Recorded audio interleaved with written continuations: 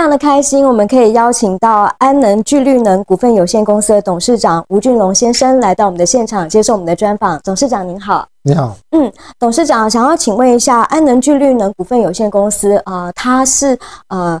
核心技术是什么？然后它的一个呃大概严格，大概跟我们说一下好吗？好，嗯，我们公司核心技术叫做微波辅助热裂解，是。那简单讲，热裂解就是有点像是我们小时候。这个控寒期这种概念，它就是在一个没有氧的状况，很高温把东西分解掉。那它跟我们控寒期不一样，它只是手嘛。那我们现在是要把利用高温把这个碳氢化物、有机物，像说轮胎、塑胶啦、纸张、哦植物这些东西分解掉，然后再把它回到变成是一个呃。有的状态或者气体的状态，是。那这个过程中，它会固定一些碳下来。所以当初这个技术的起心动念是在挪威的技术。嗯。那我们是希望利用这个技术，把一些呃过剩的木头、植物或者一些废弃物分解掉。这个过程中就可以去固碳。嗯。那我们认为这是一个最完美的技术，因为它等于是透过植物去吸收二氧化碳之后，再透过这个技术把这个碳给固定下来。嗯嗯。那。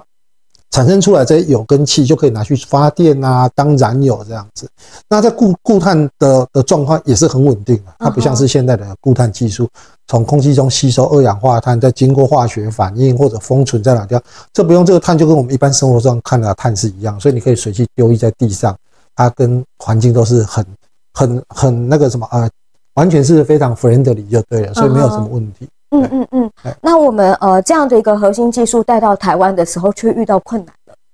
是的，我们在台湾这边所遇到实际上的困难，是因为当初起心动念是希望说利用啊这样的一个技术，然后未来是可以授权卖出设备给所需要的厂商。是，那所 target 的主要的产那个原料也都是以废弃物为主，因为我们那时候的一个理念就是。把人所产生的废弃物分解掉，再去发电。哦，那所以你有人才需要电嘛，有人才有废弃物，那就是一个完美的循环。但是台湾的废弃物废弃物的处理的法规，哦，你必须要有证照才可以做这件事，而且，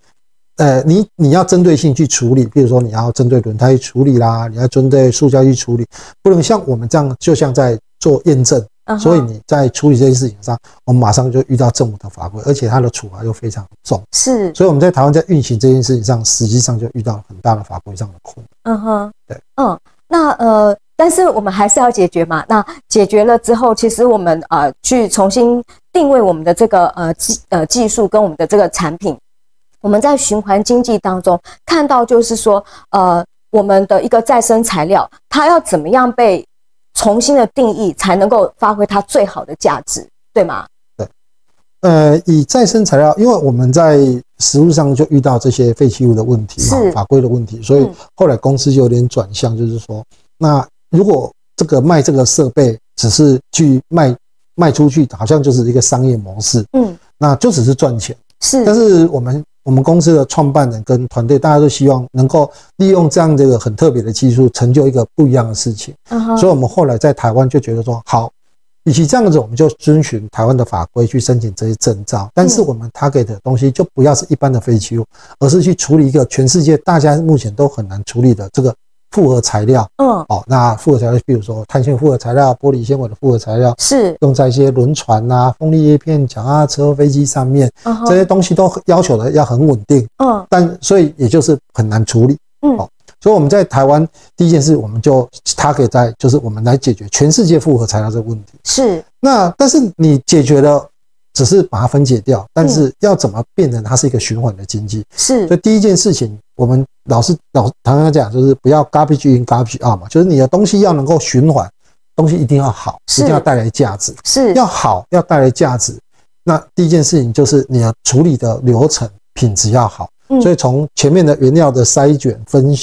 那个分选到处理的技术，嗯，到后面的加工到应用这个流程，我们其实每个环节。都必须要导入，除了我们在挪威的技术之外，我们在台湾还研发了很多新的技术，是一起把它导进去，才能够解决这个碳纤维从回收到循环再到再利用这件事情，整个 cross loop 的概念这样。嗯嗯嗯，呃，对终端消费者他要认识呃所谓利用呃再生碳纤维所做到的东西，它是呃比如说它在重量它会更轻，可是它在硬度却会是更好，对不对？对，可以举个例子跟告诉我们吗？哦，譬如说，呃，我们现在所熟，呃，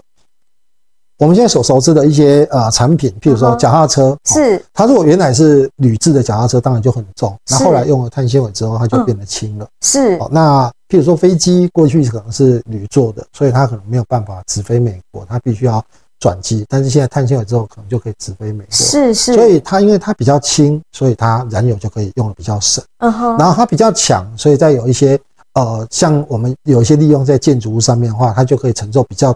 大的冲击强度、耐震这一方面。那回收的碳纤维其实跟新的碳纤维差异不大，它只有在那个长度上有差别，所以强度上会有一点降低。嗯，那因此我们在所谓这个回收材料的使用的时候，我们还是会。根据这个材料现在的特性，是它虽然现在是呃非连续纤维，是短的纤维的，强度稍微差一点，嗯，但是在有些应用上面，譬如说哦一些生活用品啊，像说碳纤维的一些高阶的生活用品，譬如说啊碳纤维的水壶架啦，哦踏板呐，或者是一些管材啦，这方面的应用，甚至一些支架，公司未来会发展一些展展览用的是支架，或者是说居家用的一些展。那个橱柜，嗯，都可以用到，相对是比较轻的，甚至我们诉求就是，呃，一般的妇女或者蓝领阶级就可以很轻松去做组装，是是是。那这样子地带来一个比较好的生活体验，嗯哼，它一样的强，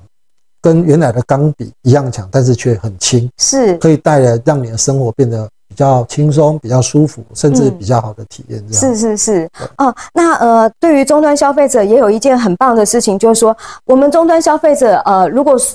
一台脚踏车被我们骑骑到我们想要换的时候，那台脚脚踏车我们要怎么做处理？它还是遇到要回收的问题嘛，对不对？是。所以我们会有发展到 RCF 的这个部分，可以让呃消费者辨识。呃，如果这个是一个 RCF 的，那我们就可以呃。把我们的这个东西，然后回收到这里，对不对？是，嗯，公司之的规划也是希望说，呃，不要让这个市场上的资讯是产生一些错乱。是，那我们希望能够尽到这个社会的责任。嗯，所以公司之后所发展出来这个回收碳纤维会建立一个品牌，叫 RCF。是，它就是 Recycle Carbon Fiber 的一个的一个简称。嗯哼。好，那为什么发展这个材料？是因为我们希望。能够尽到一个社会最那个一个责那个企业最完整的社会责任，就是你自己的产品自己要能够回收处理，而不要对环境造成另外的伤害或影响。是。那因此我们发展这个产品，就是第一个我们会承诺说，你使用我们这个材料的，未来我们可以回收。嗯。不管是你使用我这个材料的品牌商哦，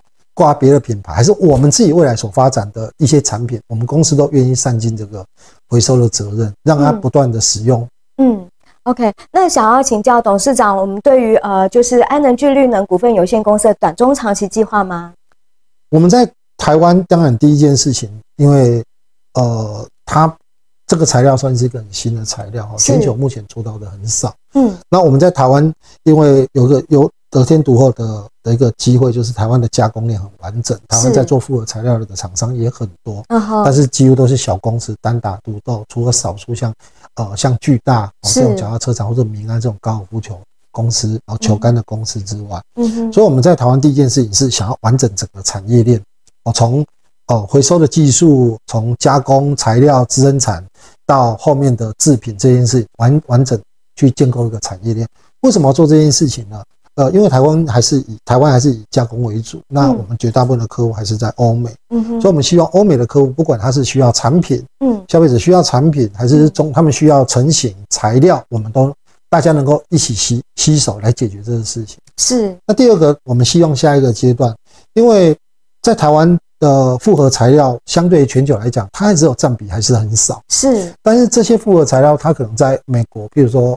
呃。美国的那个脚踏车啦，风力叶片啊，欧洲那个丹麦那边那个那个风力发电，这些其实都是一个问题，或者美国的飞机坟场，这些还是要人去处理。所以，我们希望能不能把这个技术立，虽然立足于台湾，但是能够解决全世界的问题。所以我们在台湾就接下来下一个阶段就要去发展，在整个前面回收的技术的时候，想要变成是一个无人化的工厂。OK，这个无人化工厂，我们未来在可以从台湾。整场输出到海外去，直接把这个不能回收的复合材料变成可以回收的材料。嗯，回收的材料之后，再透过我们的加工的这些产业链，再把它变成能够给消费者使用的一些产品，这样子。啊，这是我们的中长期计划吗？对。嗯，那呃，其实刚刚听董事长这一番的呃说明，很难想象是在短短八年之内，我们就发展到今天这样的一个规模了。那可以请董事长您讲讲您个人的经验是什么样的一个经验，可以让你就是呃。凭着这样的一个技术，通常研发人员看不到这个技术背后，它能够整合出来这么样的一个属于产业链比较高瞻远瞩的一个呃先行性的这样的一个呃带动。呃，您这方面经验可以跟我们分享吗？啊，这个很跟我求学过程跟过去的工作过程有关啊。是我可能算是比较不务正业了哦，所以我从从清大化工跳到台大生化，再跳到去。国外开鞋厂，然后后来回来台湾生物科技、电子商务产业，然后再到自再到这个后来回去清大念这个微机电的博士，然后有幸能够跟这个前董事长陈董一起来创立这个公司。是这个过程中，其实我们只有坚持一个想法，就是说你不要去排斥任何的机会跟知识。嗯哼，所以有机会学的东西，我们就去学。OK，但是。你学的这些东西，不管你做任何的学习或者任何的知识，其实最终就是要解决问题。嗯，所以而不是说立足于技术本位，就是我只做这件事情。嗯，那客户要不要用随便。所以我们在想的事情是，客户到底要什么？客户假设是品牌商，他要一个踏板，那我们就联合踏板的厂商。联合中间复合材料成型的厂商一起解决他的问题。客户要塑胶粒，那我们就联合可以帮我们合作一起开发塑胶粒的厂商，一起做出塑胶粒给他。OK。所以对我们来讲，其实最重要的事情就是解决客户的需求。嗯哼。而不管这个客户需要是什么，嗯，那我们公司就是去统合这些呃技术或者资源，一起来解决这个事情。OK。对，所以比较没有呃受限于原来自己能做什么事情了，嗯嗯，而是解决。这个客户最终的需求这样子的角度了，而且以您的这个眼光来看，就是说，其实呃，全世界能够做到这样的核心技术，也不过才两三家嘛，而台湾却有这样子的一个，您自己认为我们公司有一个很大的优势，这个呃信心来自于哪里呢？我觉得目前全球政治来讲，应该大概只有三家能做得到，一家在美国，一家在。比利时一家就是在台湾，是。我觉得在台湾，我们我们可以很自豪的认为，我们未来会是全世界最强。嗯哼，的一个理由是因为这些东西除了回收之外，它最大最大问题，它还是要能够回到市场上，还是要回到客户的手上。嗯哼，但是这个过程中需要有很多。这个过程中，加工链的厂商一起做，嗯，比如说你做成碳纤维回收砂之后，你要把它做成材料，做成复合材料，再做成成品，这过程至少四到五个阶段，甚至有还有组装厂，